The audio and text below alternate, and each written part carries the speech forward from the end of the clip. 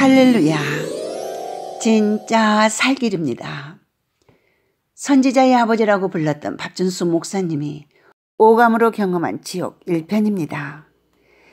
주님께서 나와 함께 가자라고 말씀하시면서 이번에는 제가 위로 가지 않고 아래로 내려갔습니다. 그때 주님께 제가 애절하게 사정했습니다.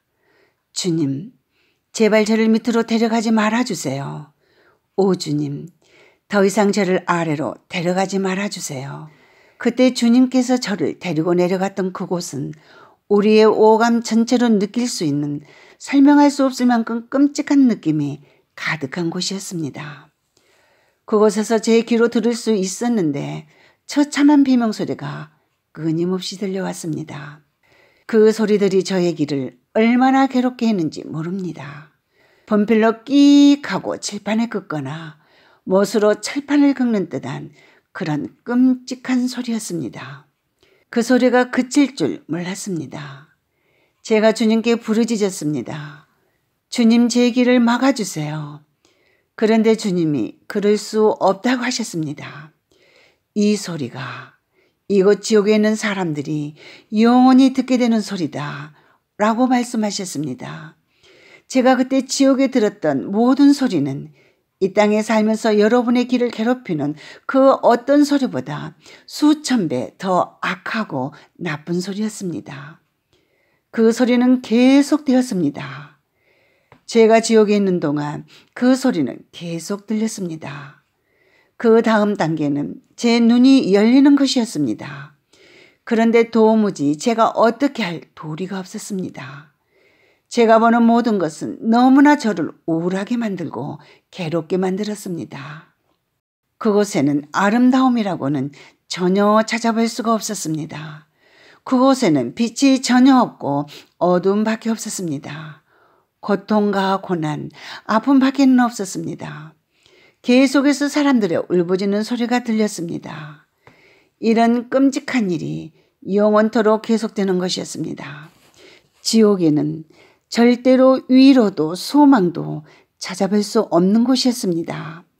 제 눈앞에서 보이는 것은 계속해서 근심과 슬픔, 비애를 더해줄 뿐이었습니다. 제가 계속해서 듣고 보는 동안 모든 것이 끔찍했습니다. 그러더니 제 코에 냄새가 나기 시작했습니다. 지옥의 냄새는 썩은 시체 냄새 같습니다. 죽음의 냄새였습니다.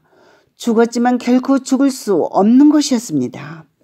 제가 맡았던 나쁜 냄새는 제 인생에 단 한 번도 맡아본 적이 없는 독하고 구역질 나는 냄새였습니다. 어떤 사람들은 지옥에서 유황 냄새를 맡았다고 합니다. 물론 지옥에는 썩은 유황 냄새도 있긴 합니다.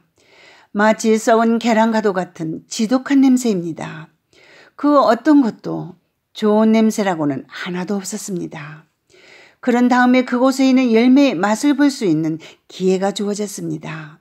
제가 그곳에 있는 열매를 먹을 때마다 제 입이 불타는 것 같았습니다.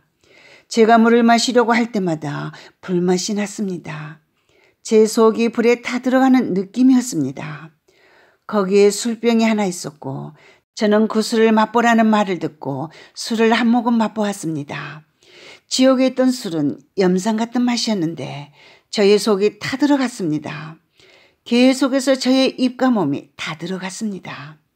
마치 염산의 산이 저를 다 삼키는 것 같았습니다.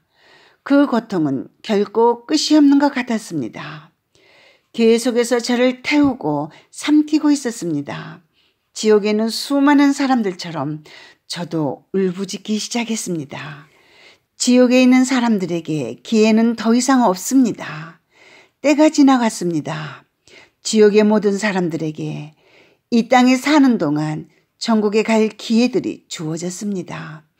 예수님을 영접할 기회들이 주어졌습니다.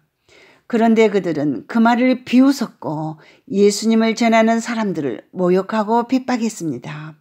결국 그들이 지옥에 와서 자신이 거절했던 것이 무엇인가를 그제야 선명하게 깨닫게 된 것입니다.